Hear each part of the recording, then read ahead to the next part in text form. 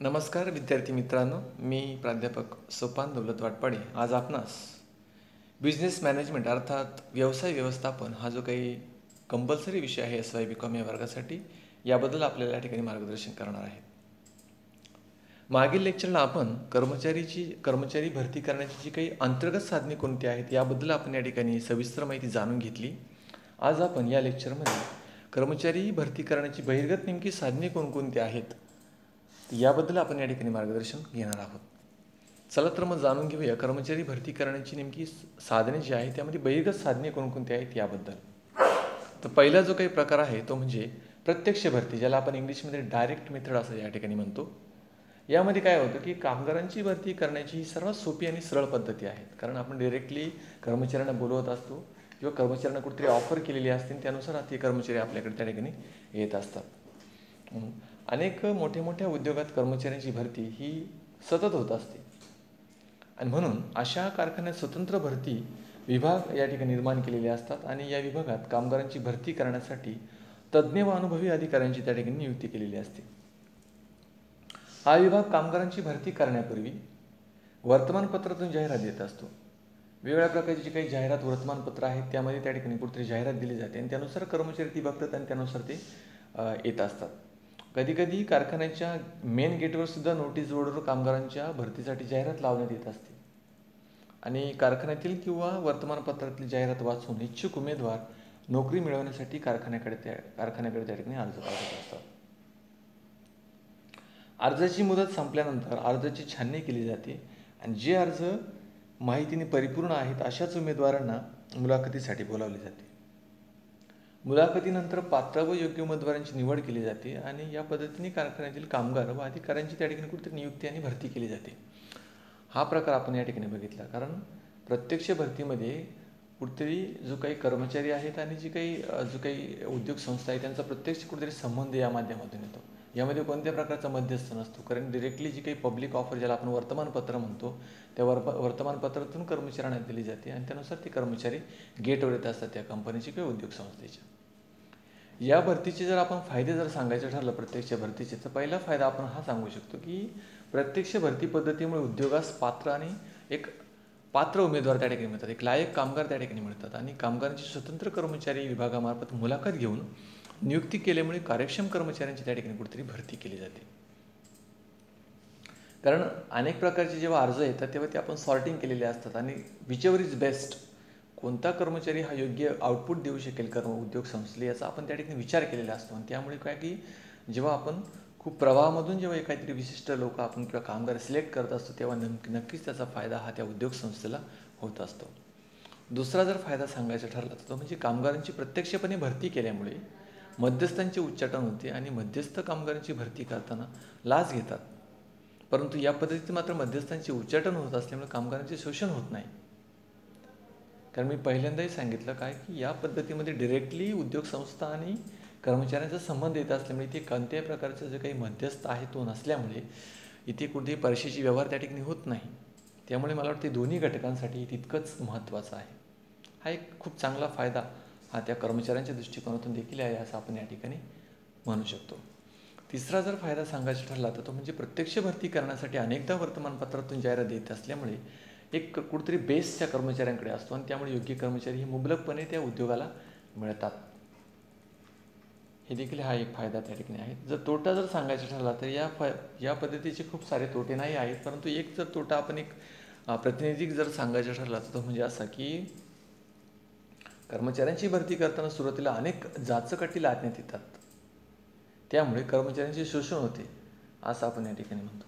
कारण जर अटी जर जाचक नसेल तर काही नाही परंतु जर त्यांच्यावर खूप जर त्या अटी ही खूपच त्या त्यांनी स्ट्रिक्ट असतील तर त्याचा तोटा नक्कीच त्या कर्मचाऱ्यांवर त्या ठिकाणी होऊ शकतो. ज्याच्या ज्याच्या ज्याच्यामध्ये आपण काय सांगू शकतो की कुठेतरी कर्मचाऱ्यांची हेल्थ जाऊ शकते किंवा कर्मचाऱ्यांना खूप जास्त काम करावं लागू शकतं खूप कमी काळामध्ये खूप जास्त कामाचा बोजा त्यांच्यावर येऊ शकतो. हे आपण त्या ठिकाणी कुठेतरी मान्य करू शकतो. तर हा एक तोटा आपण या ठिकाणी सांगू शकतो. दुसरा जर कर कर्मचाऱ्यांची भरती करण्याचं जर साधन आपण म्हटलं तर ते म्हणजे मुकादमाद्वारे भरती करणे ज्याला आपण मध्यस्थ देखील म्हणतो. याच्यामध्ये इंग्लिशमध्ये आपण याला काय म्हणतो की एम्प्लॉयमेंट थ्रू लेब जॉबवर आपण याला म्हणतो. आणि यामध्ये काय की भारतात पूर्वीपासून मुकादमाद्वारे करण्याची एक भरती करण्याची एक पद्धत पूर्वापार आपण त्या ठिकाणी चालत आलेली बघतो. आणि यामध्ये काय की मुकादमाचा उद्योगधंद्याच्या मालकाशी अत्यंत जवळचा संबंध असतो.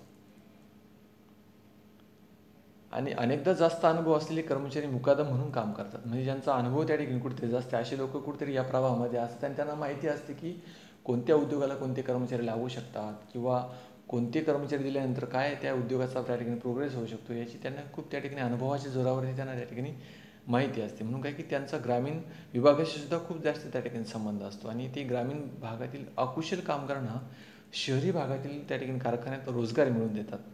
आणि त्यासाठी ते मालक तसेच कामगारांकडून त्या ठिकाणी दलाली घेतात. याच्या अगेन्स्ट जेव्हा ते कुठेतरी कर्मचारी अपॉइंट करतात मुकादमाद्वारे जेव्हा ते कर्मचारी उद्योग संस्थेमध्ये जातात तेव्हा त्यांच्याकडून काहीतरी एकतर कमिशन घेतलं जातं किंवा काहीतरी विशिष्ट दलाली त्या ठिकाणी घेतली जाते. म्हणून काय की मध्यस्थांना निरनिराळ्या भागात निरनिराळ्या नावाने त्या ठिकाणी ओळखलं जातं. कारण काही ठिकाणी जर आपण बघितलं तर त्यांना सरदार म्हणतात काही ठिकाणी चौधरी म्हणतात तर काही ठिकाणी फोरमन म्हणतात. फोरमन ॲक्च्युली बघायला गेलं तर हा इंग्लिश शब्द आहे. परंतु वेगळ्या भागामध्ये वेगळ्या प्रकारची जी काही प्रचलित पद्धत आहे त्यानुसार त्यांना त्या ठिकाणी त्या ठिकाणी नाव त्या ठिकाणी घेतलं जातं. यामध्ये जर अजून सांगायचं ठरलं ठरलं तर या पद्धतीत मध्यस्थांची कार्य महत्त्वपूर्ण असल्यामुळे त्यांना अनेक अधिकार मिळालेले असतात. आणि त्यामुळे भरती केलेले कर्मचारी त्यांच्या दडपणाखाली काम करत असल्याचे त्या ठिकाणी दिसून येते. काही ठिकाणी तर मध्यस्थ पगारामधून नियमितपणे हप्ते घेत असतात कारण आता प्रत्येकाची पद्धत ही वेगळी असू शकते. काही जे काही मुकादम आहेत किंवा जे मध्यस्थ आहेत ते वन टाईम काहीतरी दलाली त्यांची घेतात. तर काही लोक ही प्रत्येक पगारातून काहीतरी विशिष्ट अमाऊंट त्या कर्मचाऱ्याच्या त्या ठिकाणी ती कट करत असतात. तर हा एक अशा पद्धतीने यामध्ये आपण या ठिकाणी माहिती सांगू शकतो. या पद्धतीचे जर फायदे सांगायचे ठरले तर काय होऊ शकतो? पहिला फायदा तो म्हणजे मुकादमाचा कामगारांशी सतत संबंध असल्यामुळे उद्योगाला कामगारांचा मुबलक पुरवठा त्या ठिकाणी होतो.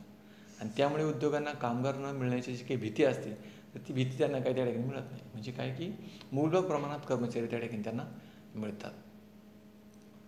दुसरा जर फायदा सांगायचा ठरला तर तो म्हणजे की मुकादमाचा कामगारांशी संपर्क असल्यामुळे त्यांना कामगारांच्या अडचणी माहिती असतात. नेमकं कर्मचाऱ्यांना कोणकोणते प्रॉब्लेम्स आहेत किंवा कर्मचाऱ्यांना येण्या जाण्यासाठी काही अडचण आहेत का? या सर्व गोष्टींची त्यांना त्या ठिकाणी जाणीव असते. आणि त्यामुळे काय की या ज्या अडचणी ते वेळीच सोडवतात आणि त्यामुळे कारखान्यामध्ये जे काही संघर्ष होणार आहेत किंवा जे काही भविष्य काळामध्ये जे काही कलह होणार आहे ते होत नाहीत म्हणून हा एक मला वाटतं कुठेतरी फायदा हा या पद्धतीचा आपण सांगू शकतो. तोटे जर सांगायचे ठरले तर या पद्धतीमध्ये काही बेसिक जे काही महत्त्वाचे तोटे आहेत त्यातून पहिला जो काही तोटा आहे तो म्हणजे काय? की मध्यस्थामार्फत भरती केलेले कर्मचारी सहसा अकुशल असतात. जे काही कर्मचाऱ्यांना ते खूपच स्किलफुल असतात असं आपण या ठिकाणी सांगू शकत नाही. कारण कुठेतरी अनुभवाच्या जोरावरती त्या व्यक्तीने कुठेतरी त्या व्यक्तीने अपॉइंट केलेलं असतं. आणि त्यांच्याकडे जरी ज्ञान असेल परंतु त्यांना तेवढं स्किल त्यांच्याकडे असेलच असं आपण त्या ठिकाणी एक ठोसपणे आपण त्या ठिकाणी सांगू शकत नाही. म्हणून काय की त्यामुळे उद्योगात चांगले कर्मचारी मिळत नाही. हा एक तोटा आपण सांगू शकतो. आणि दुसरं जर सांगायचं ठरलं तर कामगारांचे शोषण होते. कारण मुकादम कोणत्याही कारणावरून कर्मचाऱ्यांचं त्या ठिकाणी काढू शकतो. म्हणजे एक प्रकारचे छळ देखील त्या ठिकाणी करू शकतो. म्हणून काय की हा एक खूप महत्त्वाचा तोटा हा या पद्धतीचा आपण सांगू शकतो. आणि जर शेवटचा जर तोटा सांगायचा ठरला तर तो या पद्धतीचा म्हणजे काय की मुकादमामार्फत ग्रामीण भागातील कर्मचाऱ्यांना सुरुवातीला अनेक प्रकारची प्रलोभनं दाखवली जातात. पण शहरी भागात अनेकदा निराशजनक वातावरण आपल्याला बघायला मिळतं. कारण त्यामुळे हे कामगार सतत ग्रामीण भागात जातात आणि त्यामुळे कामगारांची जी काही गैरहजेरी व आदल्याबदलीचं जे काही प्रमाण आहे खूप मोठ्या प्रमाणावर आपल्याला वाढलेलं दिसतं. कारण कुठेतरी या पद्धतीमध्ये कामगारांचा विचार हा केला जात नाही. काम कामगारांच्या जे काही भावनांचा जो काही आदर व्हायला पाहिजे तर ते त्या त्या ठिकाणी होत नाही. कर्मचाऱ्यांना चांगल्या प्रकारची वागणूक दिलं तरच ती एक व्यवसाय संस्था ही आपली आहे आणि आपली म्हणून ते त्या ठिकाणी काम करत असतात. पण याचा जर त्या ठिकाणी कुठेतरी विपर्यास त्या ठिकाणी घडला तर त्याचा तोटा हा नक्कीच त्या ठिकाणी त्या व्यवसाय संस्थेला किंवा उद्योग संस्थेला त्या ठिकाणी होत असतो. त्यानंतर जर तिसरा प्रकार सांगायचा ठरला तो म्हणजे ठेकेदार किंवा करार मजूर पद्धती आपण ज्याला म्हणतो ज्याच्यामध्ये कॉन्ट्रॅक्ट लेबर या ठिकाणी अपॉइंट केलेले असतात. तर यामध्ये काय? की ठेकेदार पद्धतीने उद्योगाला कामगारांचा पुरवठा करणे किंवा केला जातो या पद्धतीमध्ये. आणि ही पद्धती भारतात पूर्वीपासूनच त्या ठिकाणी लोकप्रिय झालेली आहे. आजही बघतो आपण की बऱ्याच वेळेस ठिकाणी कॉन्ट्रॅक्ट लेबर पद्धतीने त्या ठिकाणी कर्मचारी अपॉइंट केलेले असतात. आणि ही पद्धत असं बघायला गेलं तर त्या कर्मचाऱ्यांसाठी तोट्याची पण गव्हर्नमेंटसाठी किंवा जी काही जी काही संबंधित जी काही कंपनी असेल तिच्यासाठी खूप फायद्याचं आहे. कारण कमी पैशामध्ये हे सर्व काही कामकाज त्या ठिकाणी केलं जातं. विशिष्ट काम पूर्ण करण्यासाठी किंवा विशिष्ट कालावधीत मजुरांचा पुरवठा ठेकेदार करत असतो. म्हणजे एक विशिष्ट टाईम पिरियड दिलेला असतो ज्याला आपण तीन वर्ष म्हणतो दोन वर्ष म्हणतो किंवा पाच वर्ष असेल. तर अशा पद्धतीचा कालखंड कुठेतरी ठरवून दिलेला असतो. एक टेंडर निघालेलं असतं. त्यानुसार ते कर्मचाऱ्यांची भरती केली जाते आणि त्यानुसार त्या कर्मचाऱ्यांना त्या ठिकाणी काम दिलं जातं. त्यानंतर त्यांचं जे काही कॉन्ट कॉन्ट्रॅक्ट असेल किंवा जे काही टेंडर असेल ते नि रिन्यू केलं जाईलच. याबद्दल कोणत्याही प्रकारची खात्री त्या ठेकेदाराला नसते किंवा त्या कर्मचाऱ्यांना देखील नसते. म्हणून काय की उदाहरणार्थ साखर कारखान्याचं उदाहरण खूपच बेस्ट आपण सांगू शकतो. काय की त्या ठिकाणी एक टेंडर निघालेलं असतं विशिष्ट काळासाठीचं. जे आपण ज्याला सहा महिने म्हणतो किंवा नाईन मंथ्स म्हणतो ते ते विशिष्ट टेंडर निघतं आणि त्यानुसार कर्मचाऱ्यांना अपॉइंट केलं जातं. त्यानंतर ते जेव्हा टेंडर पूर्ण होतं तेव्हा त्यांना त्या ठिकाणी कमी केलं जातं. म्हणजे काय की साखर कारखाने इमारत बांधकाम किंवा खाणीचे जर आपण व्यवसाय बघितलं तर या ठिकाणी उद्योगपती कामगार पुरवठा करण्यासंबंधी म्हणजे निविदा काढतात आणि ज्या ठेकेदारांची निविदा कमी रकमेची असते कमी रकमेची असते त्याला त्या ठिकाणी प्राधान्य या उद्योग संस्था किंवा कारखाने देत असतात. त्याला कामगार भरतीचा ठेका दिला जातो आणि या पद्धतीत कामगारांची सर्व जबाबदारी ही ठेकेदारावर सोपवली असते. जर समजा त्या कर्मचाऱ्याला काही झालं किंवा त्याचा पगार जातोय की नाही वेळेवर हे सगळं बघण्याचं कार्य कोणाचं असतं? त्याच्या ठेकेदाराचं असतं. कारण ठेकेदाराने अपॉइंट केलेलं असतं त्या कर्मचाऱ्याला. ठेकेदाराचं कॉन्ट्रॅक्ट ही त्या कंपनीमध्ये कार्यरत असल्यामुळे काय की त्याची सर्वस्वी जबाबदारी त्या कर्मचाऱ्यांना सांभाळण्याची असते. किंवा त्यांना ट्रेनिंग देणं किंवा त्यांच्याकडून काम करून घेणं त्यांच्याकडून ज्या चुका होत आहेत त्या चुकांचं त्या ठिकाणी कुठंतरी पुनर्वसन करणे सर्व त्या ठेकेदाराचं काम कार्य आहे ते. आता या पद्धतीचे जर तोटे जर सांगायचे ठरले ना तर खूप सारे तोटे या पद्धतीमध्ये आहे. पण आपण खूप विशिष्टच गोष्टींचा विचार या ठिकाणी करणार आहोत.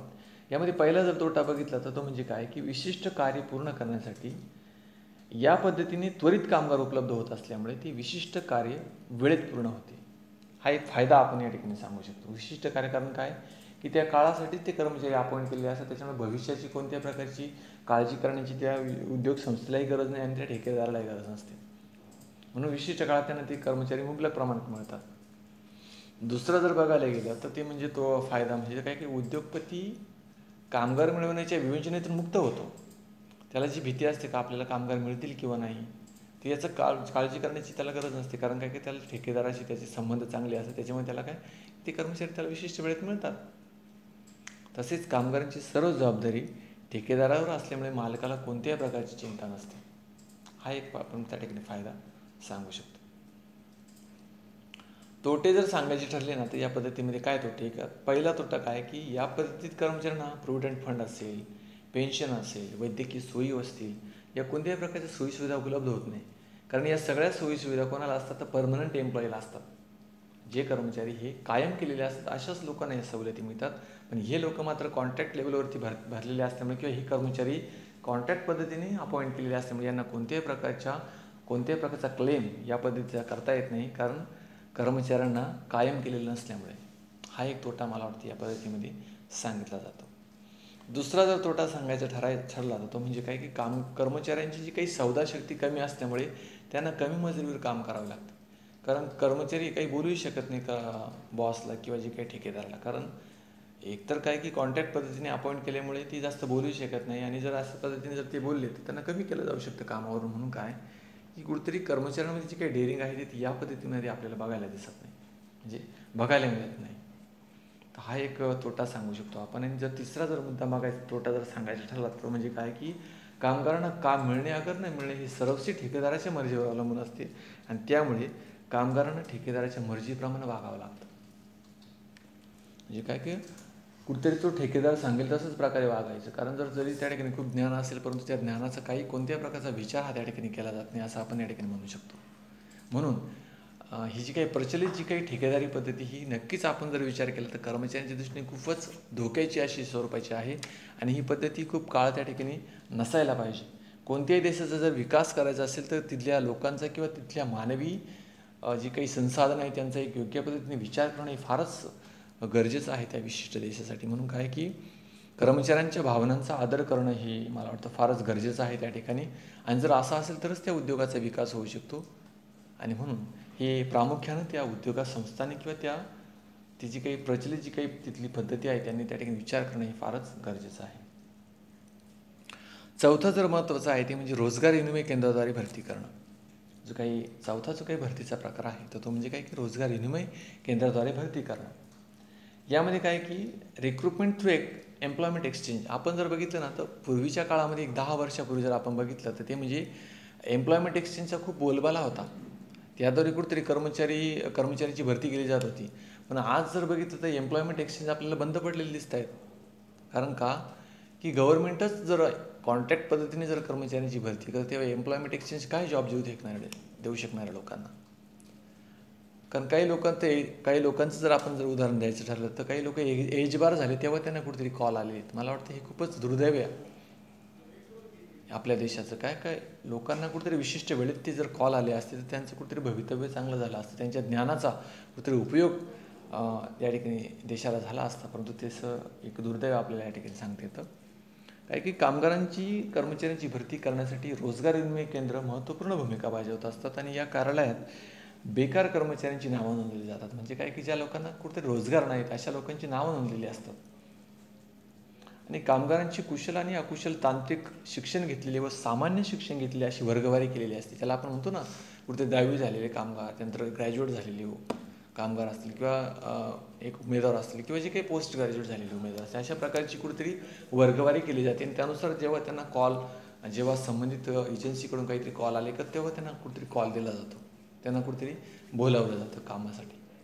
म्हणजे काय की मला वाटतं ही सिस्टीम त्यावेळेस अडॉप्ट होती. परंतु आजच्या काळामध्ये जर आपण बघितलं तर ही कोणत्या प्रकारची कॉल हे लोकांना येत नाही. किंवा जर आले तर खूप कमी लोकांना ते कॉल येत आहेत असं आपण त्या ठिकाणी बघतो म्हणून काय की अशी वर्गवारी केलेली असते आणि सेवा योजकाला ज्या प्रकारचे कामगार लागतात त्यांची नावे त्यांच्याकडे पाठवली जातात. सेवायोजक या त्या ना नावातून पात्र व योग्य कर्मचाऱ्यांची नियुक्ती करतात आणि थोडक्यात रोजगार विनिमय केंद्र हे मालक व कामगार यांच्यामध्ये मध्यस्थाची त्या ठिकाणी भूमिका पार पाडताना आपल्याला त्या ठिकाणी दिसून येतात. रोजगार विनिमय केंद्रात बेकार लोकांची नावे म्हणजेच काय की ज्यांना रोजगार नाही अशा लोकांची नावे नोंदवलेली असतात आणि याशिवाय ही केंद्रे कामगारांची मागणी व पुरवठा रोजगारविषयक अंदाज कामगारांची जी काही व्यावसायिक जी काही विभागणी आहेत त्याचे प्रमाण याबद्दल आकडेवारी जमा करतात आणि त्यानुसार कुठेतरी संबंधित डाटा ह्या संबंधित एजन्सीला किंवा उद्योग संस्थेला त्या ठिकाणी देत असतात. अशा पद्धतीने आपण या चौथ्या मुद्द्याचा या ठिकाणी आपण चौथ्या मुद्द्याचा आपण या ठिकाणी विचार केलेला आहे. या पद्धतीचे जर फायद्यांचा जर विचार करायचा ठरला तर तो म्हणजे पहिला फायदा आपण असं सांगू शकतो की सेवा आयोजन केंद्रामार्फत बेकार उमेदवारांना निशुल्क मार्गदर्शन मिळते. इथे कोणत्याही प्रकारची त्यांच्याकडून फीज घेतली जात नाही. कारण हा गव्हर्नमेंट उपक्रम असल्यामुळे त्या ठिकाणी ते पैसे घेऊ शकत नाही. आणि मालकांना सुद्धा या केंद्रामार्फत मोफत सेवा पुरवल्या जातात. म्हणजे एक सेवा उपयोगी एक समाज उपयोगी अशा प्रकारचा उपक्रम आहे असं आपण या ठिकाणी म्हणू शकतो. दुसरा जर बघितलं फायदा तर तो म्हणजे उद्योगधंद्यात कोणत्याही प्रकारची जाहिरात न देता योग्य असे कर्मचारी प्राप्त होतात. आणि मध्यस्थद्वारे होणाऱ्या भरतीचे दोष हे सेवायोजन केंद्र त्या ठिकाणी टाळता टाळण्यात त्या ठिकाणी येत असतात. अशा पद्धतीने हे फायदे या पद्धतीचे आपण त्या ठिकाणी सांगू शकतो. तोट्यांचा विचार करायचा ठरला तर म्हणजे पहिला जो तोटा आहे तो म्हणजे रोजगार विनिमय केंद्र हे बेकार कामगारांना मदत करण्याच्या दृष्टीने स्थापन झालेली असली तरी त्यांचं जर कार्य ते बघितलं तर ते दिखाऊ स्वरूपाचं आहे असं आपण म्हणू शकतो. म्हणजे आपण म्हटलं मराठीमध्ये म्हणतो की दिसायला मोठे आणि लक्षण खोटं असं म्हणतो आपण. तर अशा पद्धतीने या कुठेतरी कामगारांची या केंद्रांची व्यवस्था आपल्याला बघ बघायला मिळते. म्हणजे काय की या केंद्रामार्फत फारच थोड्या लोकांना नोकरी मिळालेली असते. बोटावर मोजणे इतके लोकांना रोजगार मिळतो आणि ते देखील मला वाटतं खूप काहीतरी लाचलुचपत अशा पद्धतीचेच त्या ठिकाणी त्यांना मिळतात. म्हणून काहीतरी जे आपण बघतो जे आपण अनुभवतो ते मला वाटतं खूपच चुकीच्या पद्धतीचं आहे. आपण या पद्धतीमध्ये असं आपण म्हणतो. दुसरं जर बघितलं ते म्हणजे सेवा योजन केंद्रामार्फत कामगारांची विविध प्रकारची माहिती गोळा केलेली जाते. परंतु ही माहिती कितपत रिलायबल आहे कितपत विश्वास विश्वसनीय आहे यामध्ये काही शंका निर्माण झालेली असते. कारण दिलेली माहिती खरोखरच आहे कोण त्याला तपासणार किंवा कोणती व्हेरीफाय करणार? कारण जी लोक माहिती घेणार तेच कितपत योग्य हे सुद्धा बघणं खूपच गरजेचं आहे असं मला वाटतं. म्हणून काय की खोटी माहिती त्या ठिकाणी कुठेतरी एनरॉल जर झाली तर त्या ठिकाणी पुढे ते लोकांची भरती करून देखील काही उपयोग नाही. म्हणून हा एक तोटा त्या ठिकाणी आपल्याला सांगू शकतो. आपण आणि जर शेवटचा जर तोटा सांगायचा ठरला तर तो म्हणजे काय? की रोजगार विनिमय केंद्राची जी काही कार्यालय ही शहरामध्ये आपल्याला बघायला मिळतं. आणि त्यामुळे शहराचाच विकास होतो आणि ग्रामीण भागातील लोक मात्र या ज्या प्रवाहामधून ते वंचित राहू शकतात. म्हणून हा एक मला वाटतं तोटा हा एक महत्त्वाचा तोटा हा या पद्धतीचा आपल्याला सांगता येऊ शकतो. पाचवा जर आपण जर बघितला जो काही महत्त्वाचा प्रकार भरतीचा तो म्हणजे कारखान्याच्या दरवाज्यावर भरती करणे ज्याला आपण गेटवर भरती करणं असं आपण म्हणतो. यामध्ये काही काही कारखान्यात किंवा उद्योगात हंगामी स्वरूपाच्या कामगारांची आवश्यकता असते आणि विशिष्ट हंगामात मोठ्या प्रमाणावर अकुशल कर्मचाऱ्यांची गरज असते. ही गरज पूर्ण करण्यासाठी अनेकदा कारखान्याच्या दरवाज्यावर कामगार पाहिजेत असतात आणि असा फलक लावण्यात येतो. का? जिथे लावण्यात येतं की कामगारांची गरज आहे आणि ज्यांना जे इच्छुक उमेदवार असेल त्यांनी अर्ज करावेत असं त्या ठिकाणी फलक लावलेला असतो.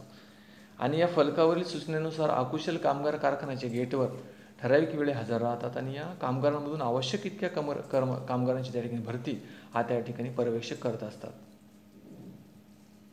आणि या कामगारांच्या सेवा ठराविक कालावधीसाठीच त्या ठिकाणी घेण्या घेण्यात येतात आणि विशिष्ट काम व हंगाम संपल्यानंतर त्यांना कमी करण्यात येतं. म्हणजे हंगामी स्वरूपाची कुठेतरी कर्मचारी या ठिकाणी भरती केले जातात. म्हणून काय की हे सुद्धा मला वाटतं पद्धत ही काही योग्य नाही. कारण कर्मचाऱ्यांना कोणत्याही प्रकारची सुरक्षितता या ठिकाणी मिळालेली नसते. कुठेतरी वेळ काढून देण्यासाठी ही एक हा एक कुठेतरी भरतीचा प्रकार आहे असं आपण या ठिकाणी म्हणू शकतो. आणि आजच्या लेक्चरला जो काही शेवटचा जो काही भरती करण्याचं जे काही साधन आहे ते शेवटचा जो काही प्रकार आहे तो म्हणजे बदली पद्धत किंवा आपण ज्याला बदली नियंत्रण पद्धत असं आपण या ठिकाणी म्हणतो. यामध्ये काय की मुकादम पद्धतीने कामगारांची भरती केल्यास कामगारांचा अनेक प्रकारच्या ठिकाणी छळ होऊ शकतो. कारण या पद्धतीत दोष दूर करण्याच्या हेतूनेच बदली पद्धत त्या ठिकाणी सुरू करण्यात आलेली असते. मुंबईत अजूनही बदली कामगारांसाठी कचेरी कार्यरत आहे आणि जे कर्मचारी कामगार बेकार होतात किंवा ज्यांना रोजगार नाही असे ते आपली नावे या ठिकाणी नोंदवतात. त्यांना या कचेरीतून बदली कार्ड दिले जाते मात्र काम किंवा रोजगार मिळवण्यासाठी या कामगारांना दररोज कारखान्याचे गेट रोग राहावं लागतं. ही एक शोकांतिका असं आपण म्हणू शकतो? कारण कारखान्यातील रिक्त किंवा मोकळ्या जागा भरण्यासाठी त्या कामगारांचा उपयोग केला जातो. म्हणजे जिथं रिकामी जागा आहे तिथे त्यांना भरावं.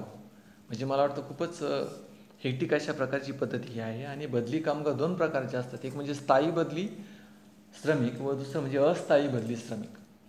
स्थायी बदली कामगारांजवळ प्रशस्तीपत्रे असतात. त्यामुळे त्यांना रिक्त जागेवर पटकन त्या ठिकाणी सहजतेने त्या ठिकाणी घेतलं जातं. कारण त्यांना स्थायिक जे काही उमेदवार जे काही त्यांचं जे काही पॉलिटिशियन्स त्यांच्या मदतीने ते येऊ शकतं पण या पद्धतीचा प्रमुख उद्देश काय आहे की मुकादमाचे उच्चाटन करण्याचा असला तरी हा उद्देश आत्तापर्यंत फारसा काही आपल्याला साध्य झालेला दिसून येत नाही. कारण याचे तोटेच खूप आहेत. कारण अशा प्रकारची दररोजची जर कुठेतरी तारांबळ जर त्या लोकांची होत असेल तर मला वाटतं हा प्रकार देखील काही एवढा परिणामकारक नाही असं आपण या ठिकाणी म्हणू शकतो. अशा पद्धतीने विद्यार्थी मित्रांनो आज आपण आजच्या लेक्चरमध्ये भरतीची जी काही बहिर्गत जी काही साधने आहे याचा आपण सविस्तर अभ्यास केला. पुढील लेक्चरला मात्र आपण जी काही उर्वरित जी काही राहिलेली जी काही बहिर्गत साधने आहेत त्याचा आपण त्याचा आपण त्या ठिकाणी सविस्तर अभ्यास करणार आहोत.